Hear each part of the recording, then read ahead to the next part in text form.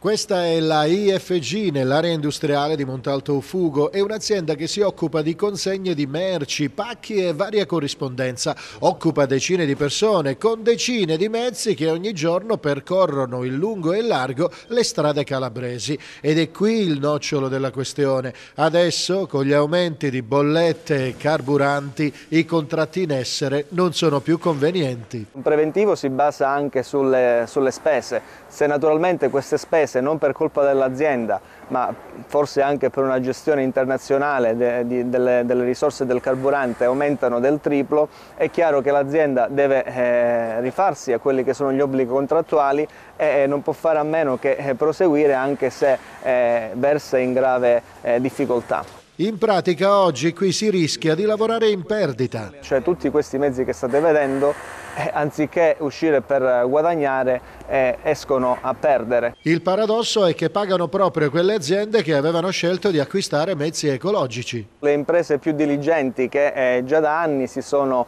eh, servite di eh, mezzi green, ora pagano paradossalmente il prezzo più alto perché il metano era partito da 70 centesimi a, e ora è arrivato quasi a, a 2,50 euro. Anche in Calabria sono migliaia i lavoratori del settore dei trasporti di persone o merci, i cui costi si ripercuotono poi anche giocoforza sui prezzi delle merci consegnate. Insomma, una crisi dei trasporti causa costi salati anche al consumatore finale. Il settore adesso è in agitazione e potrebbe bloccarsi.